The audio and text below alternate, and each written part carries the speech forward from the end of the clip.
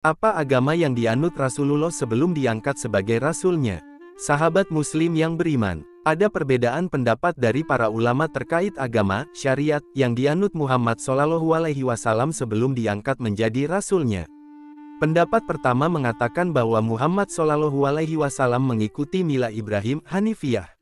Pendapat kedua menyatakan bahwa Muhammad Shallallahu Alaihi Wasallam tidak beribadah dan tidak mengikuti ajaran apa pun. Terlepas dari dua pendapat tersebut, jelas bahwa Muhammad Shallallahu Alaihi Wasallam bersih dari dosa ajaran masyarakat Arab jahiliyah yang kala itu merupakan masyarakat paganisme yang menyembah banyak patung yang dianggap mereka sebagai dewa-dewanya. Muhammad Shallallahu Alaihi Wasallam sendiri mendapatkan julukan Al-Amin karena beliau terkenal sebagai orang yang amanah, jujur dan dapat dipercaya.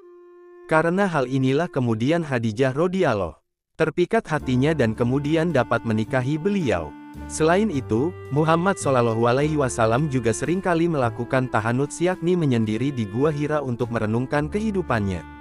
Hal ini sebagaimana diceritakan Aisyah radhiyallahu bahwa Nabi Shallallahu Alaihi Wasallam menyendiri di Gua Hira melakukan tahanut. Hadis riwayat Bukhari Menurut Al-Hafiz Ibnu Hajar, tahanut sendiri bermakna, satu, Mengikuti ajaran Hanifiyah, mengikuti ajaran dan mila Ibrahim alaihi salam, dua, Menjauhi dosa.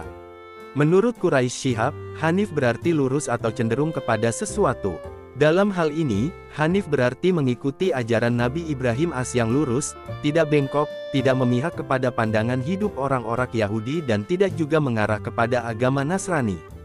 Sebagaimana firman Allah, Ibrahim bukan seorang Yahudi dan bukan pula seorang Nasrani, akan tetapi dia adalah seorang yang lurus lagi berserah diri kepada Allah dan sekali-kali bukanlah dia termasuk golongan orang-orang musyrik.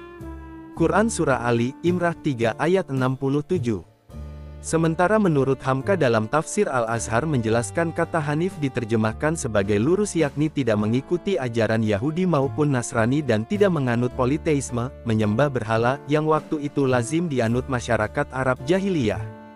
Berkaitan dengan kondisi sebelum Muhammad Shallallahu Alaihi Wasallam diangkat sebagai rasulnya, Muhammad Husain Hekal, penulis sejarah hidup Muhammad, menjelaskan bahwa tahanut berasal dari akar kata Hanif yang berarti cenderung kepada kebenaran, meninggalkan berhala dan beribadah kepada Allah serta menjauhi perbuatan syirik. Beliau sering melakukan tahanut pergi ke Gua Hira pada bulan Ramadan setiap tahunnya dengan membawa sedikit bekal. Beliau merenung, berpikir, mencari kebenaran, menjauhkan diri dari segala kesibukan hidup dan keributan manusia, demi mencari kebenaran tertinggi semata. Kala itu beliau percaya bahwa masyarakat Arab jahiliyah telah sesat dari jalan yang benar, hidup kerohaniaan mereka telah rusak karena tunduk khayal kepada berhala-berhala dan kepercayaan-kepercayaan mistik tahayul. Di mana kepercayaan-kepercayaan mistik tahayul tersebut sering kali dikritik oleh kaum Yahudi dan kaum Nasrani. Akan tetapi apa yang terkandung dalam ajaran Yahudi dan Nasrani juga tidak sejalan dengan kebenaran sejati dan hanya penuh dengan spekulasi dan perdebatan tak berguna. Sudah pasti tidak bisa mengharapkan mencari kebenaran dari kaum musyrik maupun ahli kitab Yahudi dan Nasrani.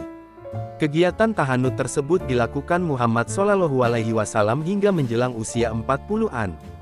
Beliau membebaskan dirinya dari segala kebatilan, menghadapkan dirinya kepada jalan yang lurus, kepada kebenaran yang abadi, menghadapkan dirinya kepada Allah dengan seluruh jiwanya agar dapat memberikan hidayah dan membimbing masyarakatnya yang hanyut dalam lembah kesesatan.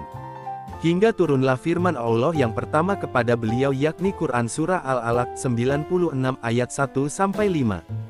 Dari sinilah kebenaran hakiki yang selama ini beliau cari terbuka untuk membuka jalan bagi beliau membimbing masyarakatnya dari kegelapan menuju cahaya terang benderang, menuju keselamatan hakiki di dunia dan akhirat. Demikianlah, bagaimana Rasulullah mendapatkan risalah dan diangkat sebagai rasulnya untuk membimbing masyarakatnya kepada jalan yang lurus dan meninggalkan segala kesesatan. Dari sini, kita belajar bahwa ketulusan hati untuk mencari kebenaran hakiki akan mengantar seseorang menuju jalan yang lurus. Tentu saja ketulusan hati ini tak boleh dinodai oleh hasrat, nafsu dan kepentingan tendensius yang sering kali menyesatkan. Di mana pun Anda berada bahkan jika Anda tinggal di lingkungan yang kotor toksik jauh dari cahaya rabani, selama Anda memiliki kebulatan tekad untuk mencari jalan yang lurus, insya Allah Anda akan mendapatkan hidayahnya yang membimbing Anda menuju jalan yang lurus dan diridoinya. Bukankah Muhammad Shallallahu Alaihi Wasallam hidup di tengah masyarakat jahiliyah, namun beliau tetap bersih dari dosa jahiliyah bahkan dibimbingnya sebagai utusannya. Bahkan jauh sebelum itu, datuk beliau Ibrahim alaihissalam mencari kebenaran hakiki, mengamati alam semesta di sekitarnya, merenung dan berpikir hingga beliau menemukan kebenaran sejati bahwa Tuhannya ialah Allah yang Maha Esa dan tidak mempunyai sekutu. Beliau bisa mencapai kebenaran itu meskipun hidup di masyarakat Babilonia yang penuh dengan kesesatan. Apa yang dilakukan Muhammad Shallallahu Alaihi Wasallam dan Ibrahim alaihissalam membuktikan kepada kita bahwa lingkungan yang rusak bukanlah halangan bagi seseorang untuk mencari kebenaran hakiki, mencari jalan hidup yang lurus. Siapa pun bisa mencari hidayah selama mereka mau berusaha dan tulus mencarinya. Hidayah hanya mungkin bagi mereka yang tetap berusaha mencari kebenaran dan siap menerimanya dengan ketulusan hatinya, bebas dari hasrat nafsu dan kepentingan-kepentingan duniawi serta siap menerima konsekuensinya. Semoga Allah membimbing kita kepada jalannya yang lurus.